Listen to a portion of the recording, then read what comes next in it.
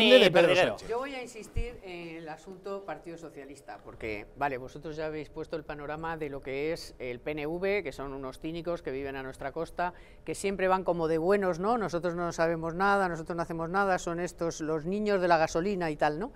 Que eso ya es muy viejo.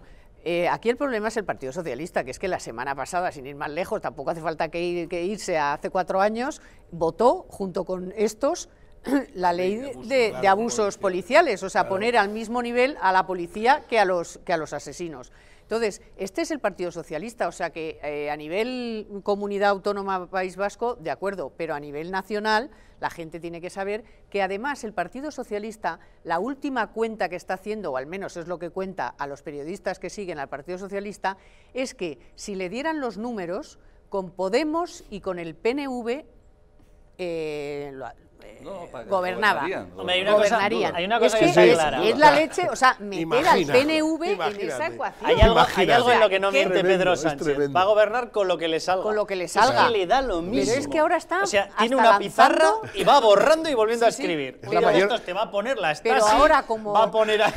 Como La mayor falta de principios de un político Pero es como ahora cae mal y está empezando a calar que, que los independentistas y lo de Bildu y tal, ahora se han inventado lo de que si les da con el PNV, como si los del PNV fueran Sor María Goretti, o sea, y es que alucino. Perdiguero.